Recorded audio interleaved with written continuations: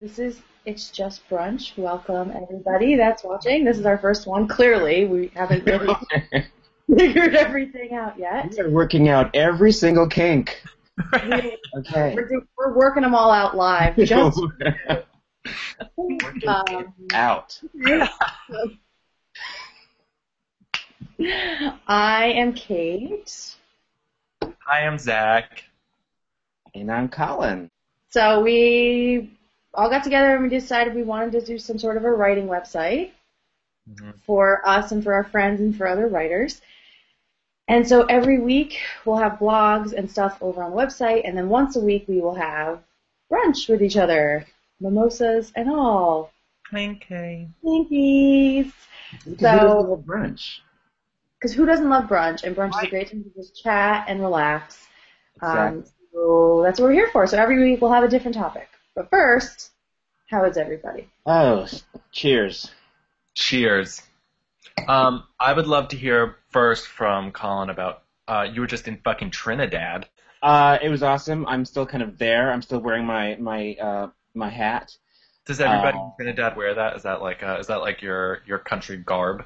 Exactly, exactly. It's kind of like you land in the airport and they say, "Hey, where's your hat?" Um, and and I say, "Here it is." Uh, that was great. You know,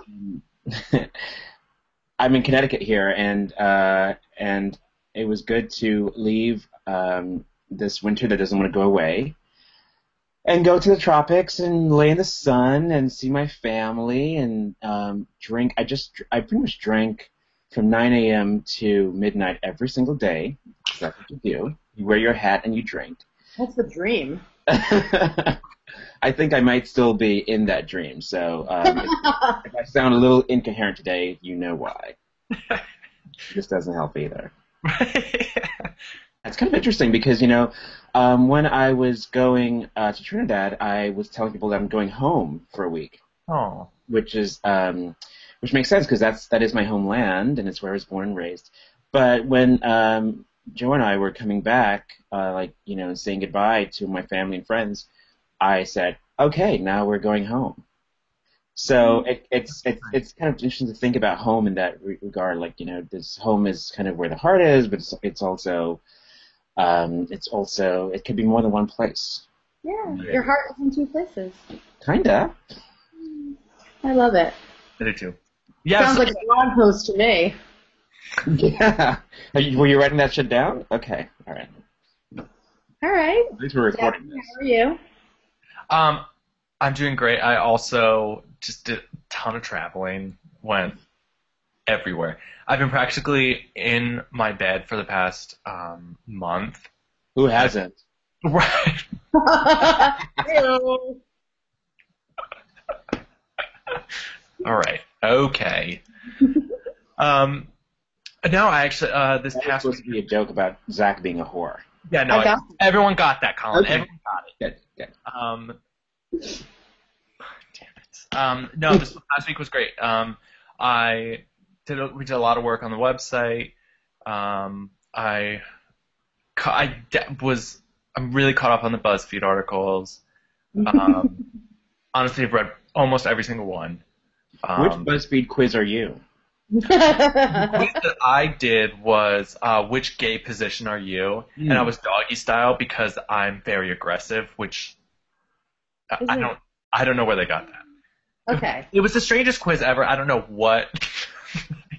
oh, is your mom in the background? She's My fine. mom's off camera, but thank you for talking about which gay No, it's fine.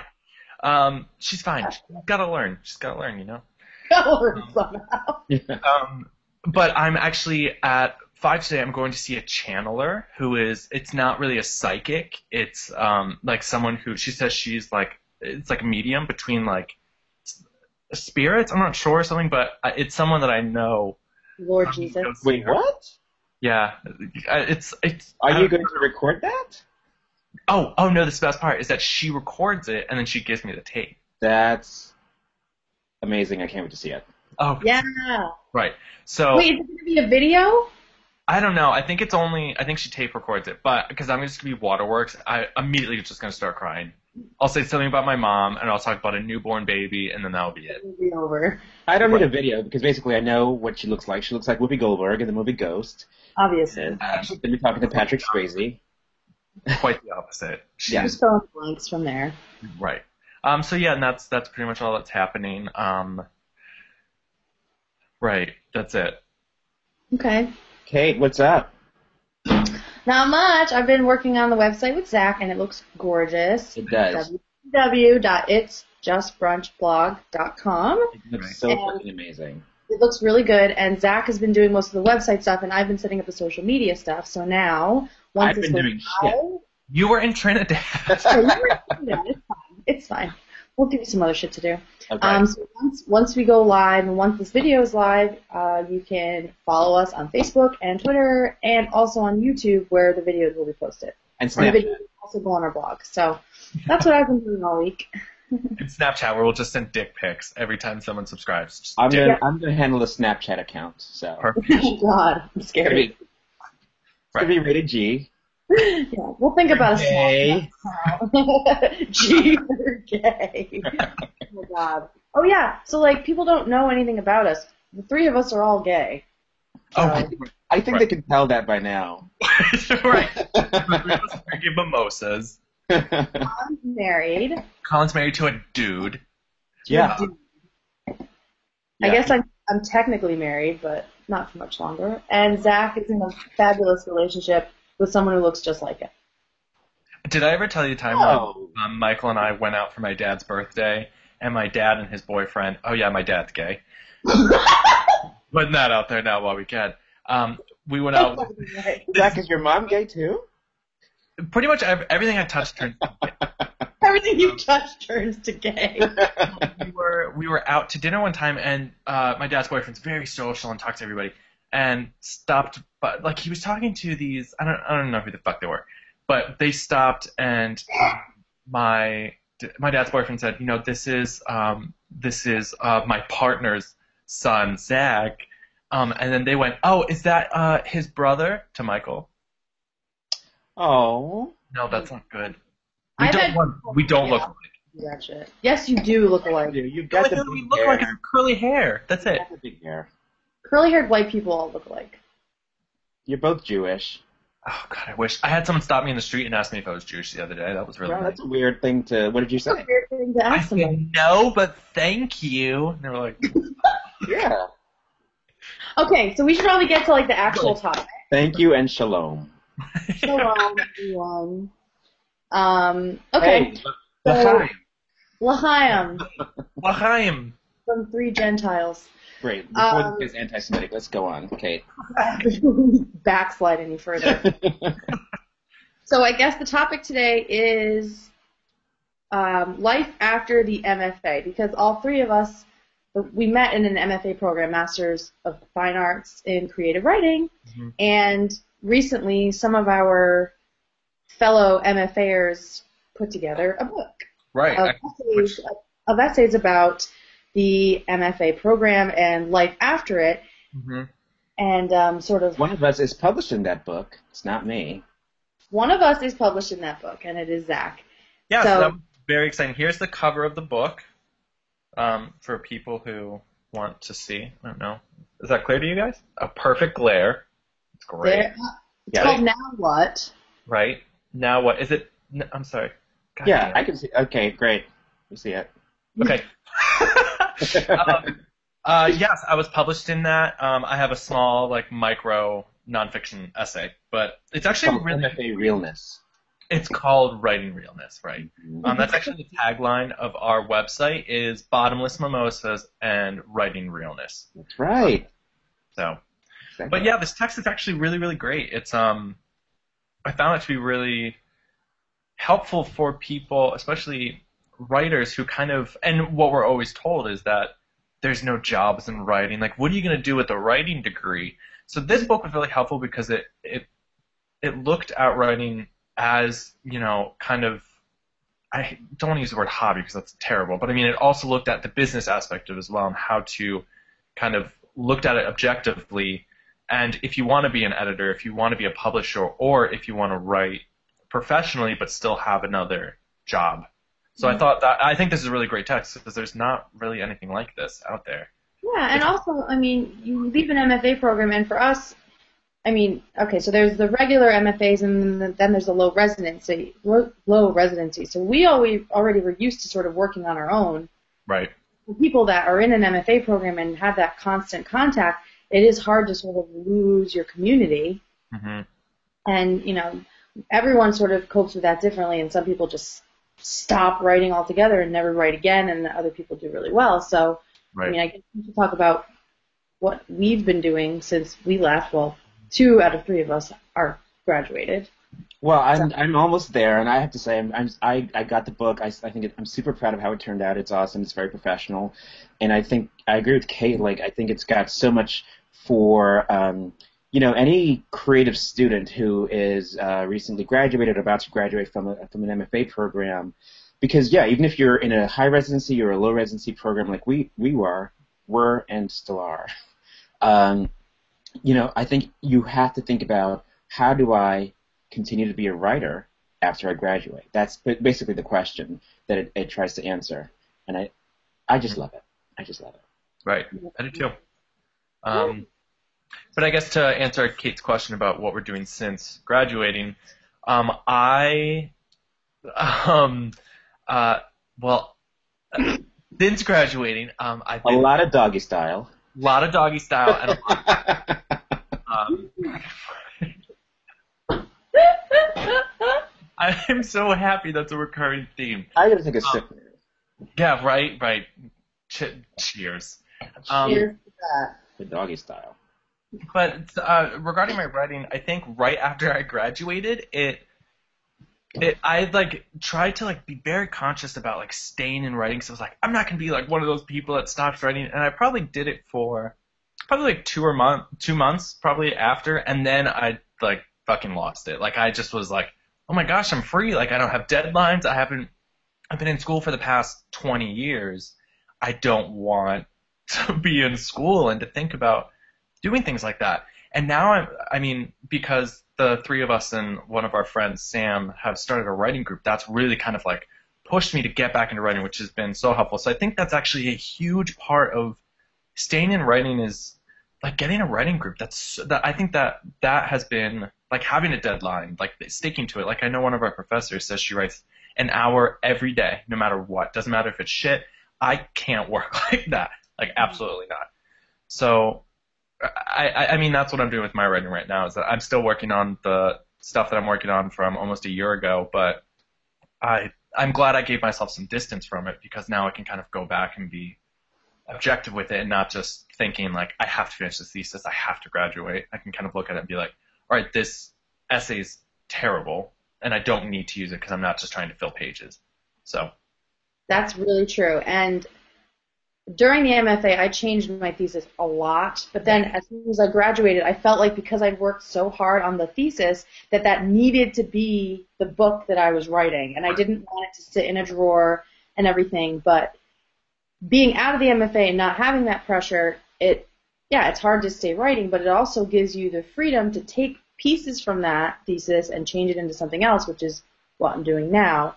Um, so the book that I'm working on, because I write fiction, is completely changing. And for a while, I wasn't writing it because I was scared to change it so much. And I was scared of, I was like, oh, I really want to write this, but I also want to work it back into the thesis. I was obsessed with the idea that my thesis had to be my first book. right. But once you realize that your thesis is not a book and it doesn't have to be a book, and you sort of break with the MFA and give yourself new deadlines because they're so important by Right. getting a group, then you can start doing new stuff, which you guys saw from our first writing group. So that's what I've been doing is working on that, working on some short stories to try to get published hmm because apparently that's like super important and you know they do they do emphasize that in the MFA program and I always hated that but at the same time I want to get published because I want my stuff out there so I can make a little bit more of a living out of writing and less out of sitting in an office because that's what I've been doing I work full time and I write I think Colin should talk about like what he's coming to the end of the MFA. It's kind of like what it feels like to have to put together a thesis and to have to. Yeah, and I think it's um, I've got the benefit of having you know um, talked to and, and, and learned from the experience of a lot of uh, people who finished before me, including you guys, uh, because um, that idea of graduating and saying, "Here's my thesis, where's my MFA," is great. But um, you know, but the idea of saying my thesis is not necessarily a book was is, is you know something that I've had to learn as well, and um, and and it really helps in a lot of ways, even with my thesis, which you know. Um, I thought at the beginning of you know my, this final semester, I thought I was like I was like so done, and I've written so much, and you know some of it's actually not bad. Um, and then I got my my first um, set of feedback from my uh, advisor Kim, and I realized that you know it was a lot more work than I anticipated. But you know I didn't panic too much because you know she has kept saying from the very beginning, it's okay, you know, get your thesis, your, the minimum number of pages for your thesis, and graduate, and then you can figure out the book, which is a really great way to think about it for me at least. Right. And of course, yes, um, we've got this writing group started, so I think that'll help me with con- continuity once I graduate because I still have, you know, a monthly schedule of writing with people whose feedback I know and trust, Mm-hmm. and um, lots and lots of mimosas. Yeah. Yes. And you'll meet Sam soon, I'm sure. Uh, Right. Girl Sam, not Boy Sam. We went to school with both. Right. Um, we love Boy Boy Sam. Sam's He's great. also being fabulous in France. So Right. Yeah. And Sam will be joining for for brunch sometimes, I'm sure, Right, and also as a blogger. She's a YA writer, um, and we didn't really talk about this. I write fiction, and Zach and Colin both write nonfiction, Right. and Sam is is YA. So I write these, fiction, but I call it nonfiction. Yes, Colin is just a liar. Really. Put that out there right now. Don't trust anything he says. So in the future, we'll have guests for blogs and also guests for brunch. So if anyone is interested in dropping in, we'll probably post our topics for brunch midweek. Right. Um, we'll figure something out. This is clearly the first time we've ever done this, so we'll probably post our brunch topic midweek. And if you are interested in dropping in, we'll we'll you know Google Hangout you in so you can um, yeah, step by, get a mimosa. yeah, Right. grab a So yeah, mimosas are required for brunch. So get a champagne flute, spend the dollar at the dollar store. Do you want to talk about quickly like what we're going to cover this week? Because then I can kind of give people like like what what what to expect. You know. Yeah, that's a great idea, Zach. Um. So who's first? Is is it Yukon? Are you the first? It is. Yes. Okay. Well, wait. What are we doing Monday? We don't know yet. Just talk Right. about two. We're gonna let people just watch this video on repeat. Yeah, that's what we'll do for Monday. Yeah. And then on Tuesday, I'm going to um, write a little blog on something that has been a really central part of my MFA uh, education, which is finding out what your story is in nonfiction. It's not an easy thing to figure out because it's not just what happened to you. Right. It's uh, it's it's it's how it changed you. Mhm. But I'll write more about that on Tuesday. That's great. I'm gonna need to read that. Yes. So. And comment. Oh yes, please. Yeah. Oh, you can like, you can comment, you can share. So make sure to do that. Join the conversation. Join the conversation. You know, get involved. It's just brunch. It's just brunch. Just Um, Kate, are you? You're going Wednesday. I'm going Wednesday, and I am writing about breaking up with Jo March and Jane Eyre. There. Um, it's going to be about strong female characters in literature and finding new literary crushes. That's fun. You know what? You're too good for them anyway, Kate. Right. Yeah, more about that. More about that on Wednesday on our blog, and then Zach on Thursday. Yes, I'm going Thursday, and I'm. Uh, my topic is writing that terrifies you. So I'm. Uh, that's basically just about the writing that you don't want to do. Because I'm working on an essay that is really hard to write because it's terribly embarrassing. But I know that it's. I know it's it's writing that should be happening, and I'm just going to talk about that. And Great. um, I can't wait to read it. And then Thanks. Friday we'll do some sort of a roundup. Clearly, we're just really super unprepared today. So Friday we'll do some kind of a roundup, and then um, Saturday we won't have anything, and then Sunday we'll have a video to post for brunch. Right. Um, and we'll figure out what the topic will be for that a little bit later. But that's about it. So um, yeah, so check out the blog. We've got an intro post up there. You can go look around at the website. And then also follow us on Facebook and Twitter and on YouTube, and we'll post the links below on the YouTube video here as well. So share us with your friends, and we hope that you will check the website out and join us for brunch next week. It's justbrunchblog.com. I'm Zach. I'm, Kate. Colin. Oh, That's good. and this is our first ever video. yeah, can you tell this is our first video? All right, I'll see you guys next week. Cheers. Are we gonna chat after this? Because I have questions. Yes, we're gonna chat after this. All right, bye everybody. Cheers. Bye. And cut. And we're doing it live. Bye.